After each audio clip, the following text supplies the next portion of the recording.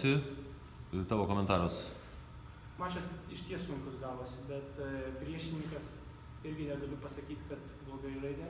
Aš labai tikiu, kad jis vieną geresnių savo mačų žaidė, iš vis kiek yra žaidęs, nes tokiu greičiu, tokiu procentų pataikymu yra iš ties labai sudėtinga pataikyti. Ir taip kaip jis sužaidė iki pat galo du setus, tai bravo jam. Ar tikėjai tokio šūsų supriešinimo? Su savo patirtim, paskutinių penkių metų taip. Nes tikrai daug kartų yra tekę žaisti, kai atrodo reitingas e, turi labai didelį skirtumą tarp mano ir priešininko, bet vis tiek e, gaunasi didžiulė kova.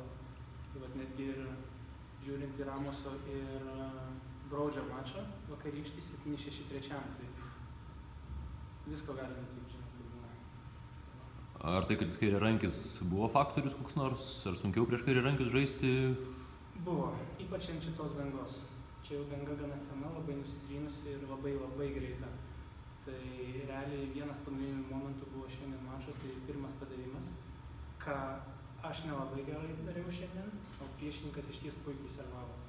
Ir tas kairiarankio pjautas e, servas iš ties yra labai sudėtingas.